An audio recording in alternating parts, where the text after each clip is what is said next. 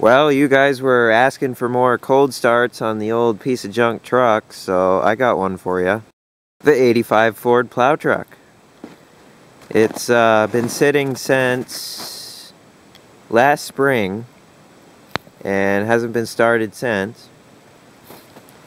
Uh, not too long ago I checked all the fluids, the differentials, transfer case, stuff like that, which is shocking because I normally don't do that stuff. But anyways, I checked all that, so it's good for this winter. And that's about it. I don't think it needs anything else. Might check the oil, may not, I don't know. But uh, I'm gonna go get my battery. Battery's in. She's a good old 306. Uh, this thing has so much crankcase pressure that it blows oil out anywhere it can, so every seal and gasket just leaks like crazy. But she's got plenty of power. She still pushes snow good. Uh, normally always starts up. It seems to like the cold, so this should be no problem.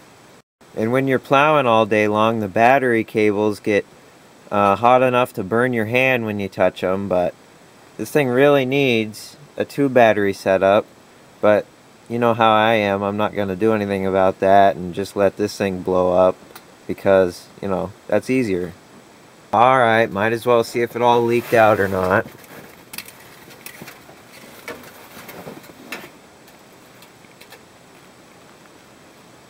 I can't read it.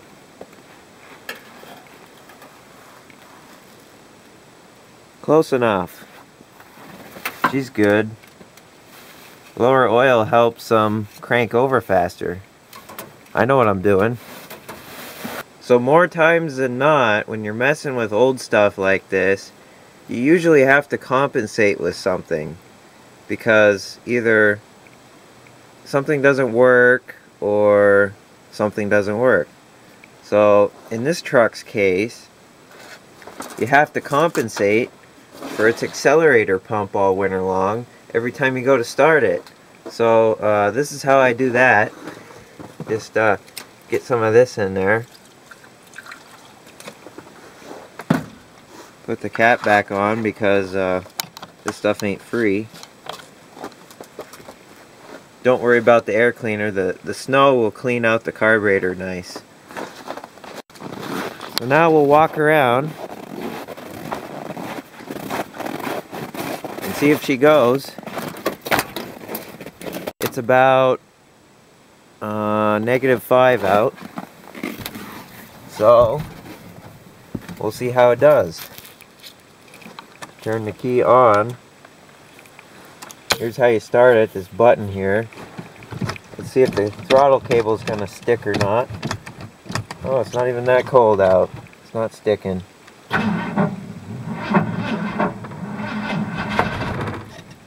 Oh, my battery ain't too happy, but she may go.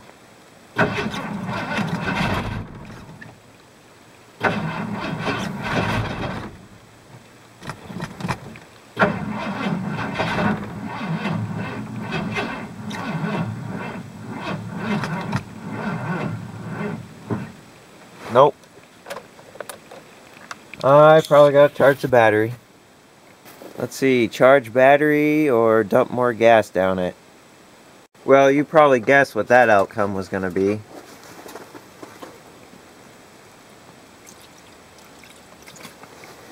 Oh, the choke's even closed. It may work.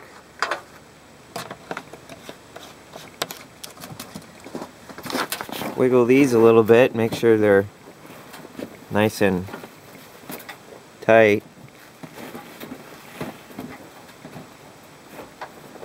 Oh, they're a little loose, no big deal.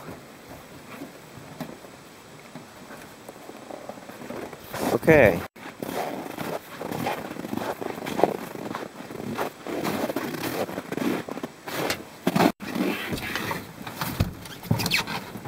Think she'll go?